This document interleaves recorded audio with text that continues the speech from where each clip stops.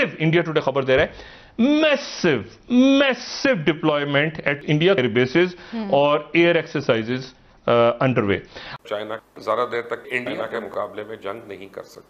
तो हमारी तरफ़ से तो डी एस्केलेशन नहीं हमारी तरफ़ से तो एस्केलेशन ही हो रहा है।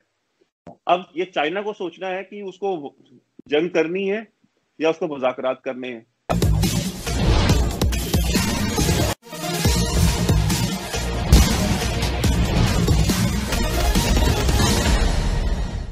हालाँकि, जैसा कि आप लोगों को ज्ञात होगा, भारत और चीन सीमा पर तनाव कम करने और यथास्थिति बनाए रखने के लिए एक पाँच सूत्री समझौता हुआ है और दोनों पक्ष इसका अभी तक पालन भी कर रहे हैं। पर चालबाज चीन का कोई भरोसा नहीं।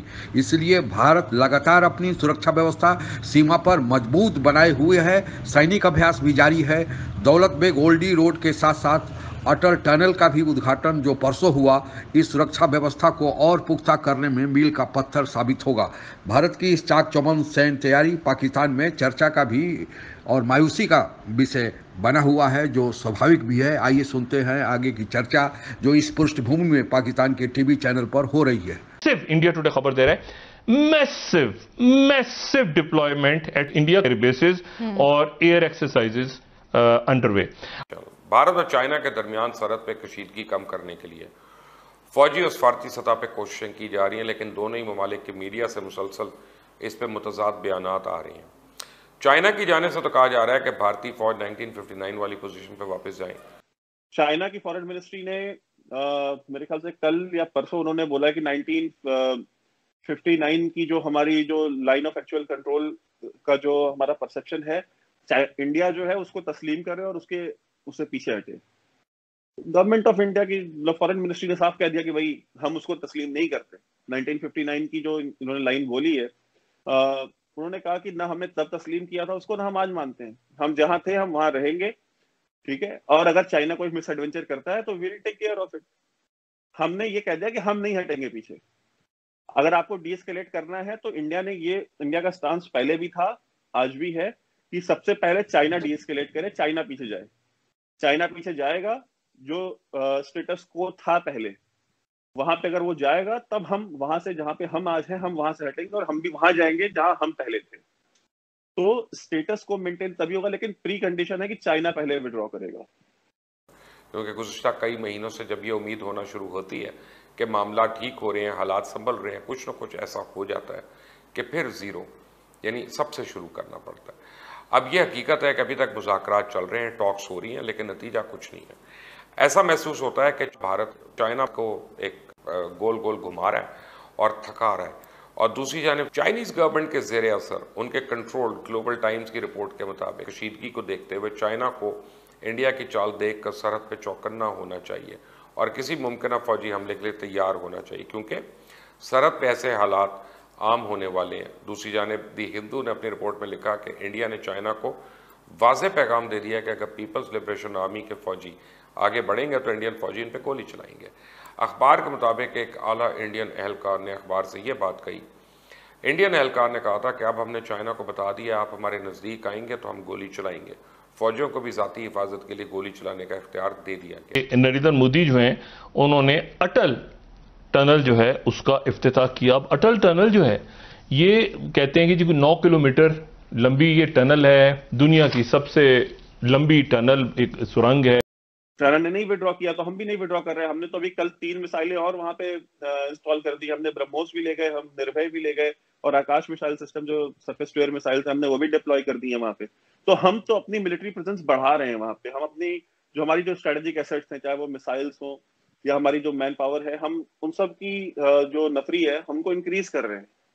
तो हमारी तरफ़ से तो डी एस्केलेशन नहीं, हमारी तरफ़ से तो एस्केलेशन ही हो रहा है। अब ये चाइना को सोचना है कि उसको जंग करनी है या उसको मुजाकरात करने हैं।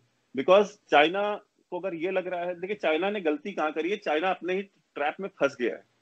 चाइना ने एक्चुअली ये एंटिसिपेट नहीं किया था कि इतना ज़्यादा टफ स्टांस आएगा इंडिया की तरफ़ से। बिकॉज़ दे थॉट कि हम शायद uh, 1962 की तरह से हम आएँगे और जो है कि हमारे न, हम नंबर uh, ज़्यादा होंगे हमारे हमारी फोर्सेस ज़्यादा होंगी और हम इंडिया को सप्रेस कर ले जाएँगे। जबकि ये इंडिया चेंज हो चुका है तब से गंगा में बहुत पानी गुजर गया। तो अब इंडिया ने क्या कहा है कि ठीक है आप आएँगे तो फिर हम भी आएँगे। आप वहाँ सौ सोल्जर्स डिप्लॉय करेंगे हम 200 करेंगे। आप वहाँ पे हेलीकॉप्टर लेके जाएँगे हम वहाँ पे सीधे हम अपने सुखोई हम वहाँ पे डिप्लॉय करेंगे। तो इंडिया ने हमेशा एक स्टेप आगे की डिप्लॉयमेंट करी है, अभी तक के कॉन्फ्लिक्ट में। तो China is now stuck Bharat के तमाम पैंतरों से मालूम होता है कि भारत चाहता है कि चाइना पहल करे। गलती वो करे, इसके बाद भारत को आलमी सतह पे कैश करे और फौजी साथ साथ सफारती महा से भी घुटने टेकने पे मजबूर। वॉर स्टेमिना जो है, उसमें ज़मीन आसमान का फ़र्क है। दोनों का अस्करी माजी भी इस हकीकत का शायद है कि चाइना ज़्यादा देर तक इंडिया के मुकाबले में जंग नहीं कर सकता। और इसकी वजह से जो शी जिनपिंग है, उनकी जो चाइनीज़ कम्युनिस्ट पार्टी है, उनके अंदर बहुत किरकिरी भी हो रही है कि भाई आपने कितने सारे फ्रंट्स खोल लिए हैं। आपने साउथ चाइना सी में अमेरिका के साथ फ्रंट खोला हुआ है। आपने साउथ चाइना सी में जो बाकी कंट्रीज़ हैं ब्रुनई हुआ नेपाल ये आपका वियतनाम हुआ फिलीपींस हुआ साउथ कोरिया हुआ जापान हुआ, आपने सबके साथ फटे ले रखे एक आपका फ्रंट था जो कि शांत था अभी तक। इंडिया के साथ। आपने वो भी खोला तो कहा? लद्दाख में जाके। मतलब एक साउथ चाइना सी में खोला हुआ है आपने। आपने एक लद्दाख में एकदम नॉर्थ में जाके खोल लिया है। ठीक है? तो आपने अपने आप को कितना स्ट्रेच कर दिया? और आपने, आप उलझे भी किन से हैं? अमेरिका से उलझे हैं? इंडिया से उलझे हैं? दो दिन पहले इंडिया और जापान की नेवी ने अपने मैरिटाइम एक्सरसाइजेस भी किए हैं इंडियन ओशन में। तो ये बहुत सारे सिग्नल्स हैं जो चाइना को दिए जा रहे हैं। चाइना उससे बहुत रैटल्ड है। क्योंकि एक अलाइनमेंट आज से अगर आप सात आठ साल पहले अगर आप पूछते साउथ ईस्ट एशियन कंट्रीज़ में कि भाई आप में से किन को चाइना से जंग लड़नी है, उनमें से आपको शायद पंद्रह बीस परसेंट वही जापान साउथ कोरिया और यही दो कंट्रीज़ मिलती जो कहती कि नहीं हमें लड़ना है। बाकी कोई नहीं कहता ब्रुनई वगैरह की नहीं हमें चाइना से लड़ना है। आज की डेट में आप पूछें तो चाइना के नेबरहुड में जितनी भी कंट्रीज़ हैं, आप उनसे पूछे, भाई आपको किस किसको किसको लड़ना है चाइना से तो सब सारे खड़े जाएँगे हाँ हमको भी लड़ना है। क्योंकि शी ने सबसे, वो सबसे पंगे ले लिए।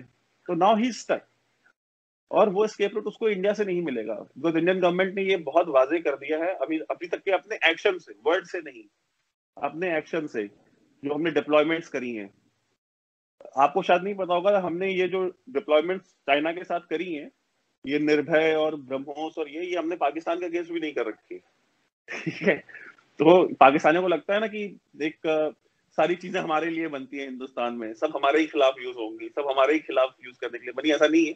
ये मिसाइलें वो हैं जो हमने चाइना के खिलाफ डिप्लॉय करी, आपके खिलाफ कश्मीर में नहीं डिप्लॉय करी।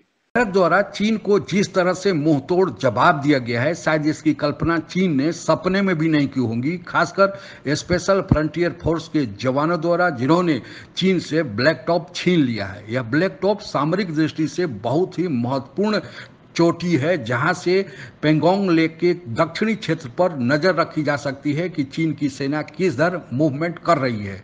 बीबीसी अपने एक रिपोर्ट में कहता है कि कुछ मामलों में भारत चीन से बेहतर है। इसके अलावा विश्व के बड़े देशों को भारत का खुला समर्थन प्राप्त है। साथ ही साउथ चाइना सी में क्वेड संगठन बनाकर भारत, जिसमें शामिल है घेराबंदी की गई है। चीन के सभी पड़ोसी देश चीन के विरोध में खुलकर सामने आ गए हैं। ताइवान का तेवर और सिपैक के खात्मे का डर, ऐसे मामले हैं जिसके चलते चीन अब शांति का राग आलापना शुरू कर दिया है। इसी को स्पष्ट करते हुए चीन के सरकारी अखबार ग्लोबल टाइम्स लिखता है कि गेंद अब भारत के पाले में है और चीन भी अब तेवर ढीले हो गए हैं। इसी को स्पष्ट करते हुए कुछ दिन पहले द वीक ने अमेरिका के दो थिंक टैंकों का रिपोर्ट का हवाला देते हुए यह खबर छापी थी कि भारत सैन्य मामलों में चीन से सुपीरियर हैं। दो थिंक टैंक हैं welfare centre at the Harvard and the centre for new American security इन दोनों ने भारत के सुपीरियरिटी को स्वीकारा है। यही कारण है कि चीन अब शांति का राग अलाप रहा है। आप अगर हमसे जुड़ा रहना चाहते हैं तो कृपया मेरे चैनल को सब्सक्राइब करें तथा बेल आइकन भी दबा दें ताकि नई वीडियो की जानकारी तुरंत आप तक पहुँच जाए। धन्यवाद। जय